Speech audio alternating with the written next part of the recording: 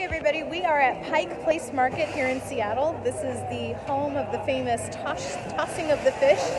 And there's seafood smell everywhere raw fish, there's market, there's produce, there's souvenirs, there's t shirts, there's flowers, there's all kinds of stuff. And I am wandering through this maze. There's tons of people, tons of tourists, and locals alike. You can tell from the, they're from Seattle from the way that they're dressed. Um, and I'm going to leave it at that. Uh, but there's lots of neon lights everywhere, which is really fun. I hear live music now. It's loud, it's busy, it's fun, and I was born here and I've never been here, which is just a crime. GG for